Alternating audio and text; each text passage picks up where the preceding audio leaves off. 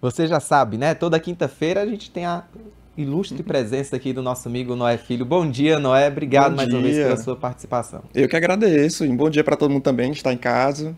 E é isso. Olha, a gente tem programação especial para os próximos dias, né? O pessoal isso começa, Isso. pode começar a se preparar, marcar na sua agenda.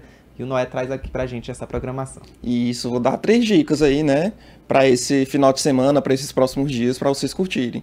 O primeiro é a Carta de Esperança Garcia, que inclusive aqui para quem acompanha com frequência o nosso quadro, vou falar alguns nomes que vocês já podem ter escutado aqui com a gente, né?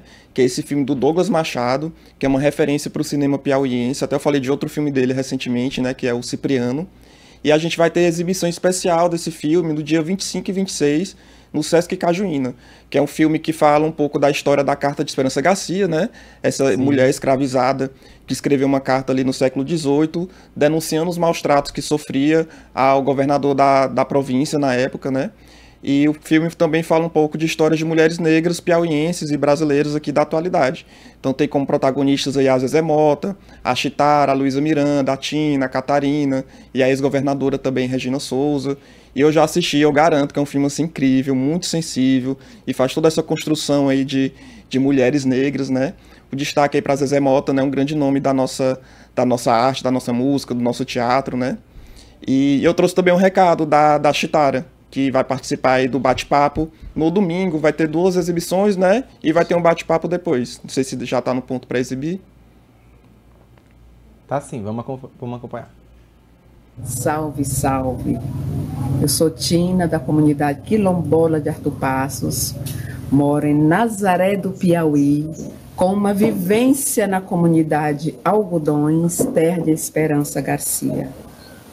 Celebrando o mês da consciência negra, o mês de novembro, convido a todas, a todos e a todes para assistir o documentário A Carta de Esperança Garcia no Cine Sesc Cajuína. Dia 25 às 19 horas. Dia 26 às 15 horas e às 19 horas. Dia 26 eu estarei aí com vocês para a gente fazer uma roda de conversa sobre as novas esperanças. Axé, axé e axé. Isso. Aí só me corrigindo, né? O recado era da, da Tina e, e reforçar esse convite, né? Então, dia 25 vai ter essa exibição é, no sábado, né? No Sesc Cajuína. E no domingo vai ter duas exibições, às 15 horas e às 19 horas, sendo 15 horas com acessibilidade, ou seja, com audiodescrição. E depois de cada sessão vai ter um bate-papo. Então, na sessão com, a- com acessibilidade também vai ter acessibilidade em Libras. Então fica aí o, o convite para assistir esse filme que realmente é maravilhoso e está em exibições especiais ainda, né? Nem circulou ainda pelos festivais, pelos nem foi lançado oficialmente, né? Então a gente pode aproveitar para já conferir com, com exclusividade, né? Exclusividade, maravilha. Vou já me programar também para prestigiar. Temos mais dicas, Noé? Isso. O próximo, a próxima dica, né, é o Festival Cultural da Resistência, que está acontecendo em Cabeceiras do Piauí. Já está rolando já, né, e vai até amanhã. Então tem uma programação assim extensa.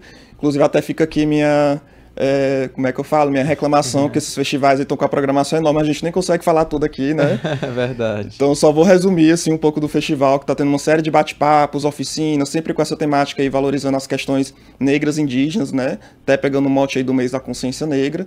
E encerra, encerra amanhã. Então vão lá no Instagram também da, da Prefeitura de Cabeceiras, que tem a programação completa. E amanhã tem um dia de festa, de shows, de dança indígena. E encerra com o grupo Afro e Jexá. Então o pessoal de Cabeceiras e região, né? Que puder ir lá comparecer, tenho certeza que vale muito a pena. E a Perfeito. próxima dica, A né? próxima dica. Pra gente finalizar. E a próxima dica é o Festival Cultural Afrocultural do Mimbó, que é um festival que vai celebrar aí, né, a cultura, as manifestações culturais do Quilombo do Mimbó, que é um dos quilombos mais importantes e tradicionais do Piauí, que tem mais de 200 anos de história, né, uma história super importante de resistência, de lutas. E esse festival vem para celebrar a cultura negra, né, a cultura quilombola. Então começou dia 20, né, é, uma- que é o, o Dia da Consciência Negra, E agora começa dia 24, dia 25 e dia 26, nesse final de semana. Vai ter uma série também de roda de conversa, de oficinas, de até ações de, de é, cidadania né, para a comunidade. E o dia 26, que talvez seja o dia mais, mais movimentado, né? Vai concentrar a maioria das apresentações culturais. Tem até o espetáculo Quilombo Mimbó, que conta é, em forma de dança, música e teatro, um pouco da história do Quilombo, né? Tem o Pagode do Mimbó também, que é super, que é super conhecido.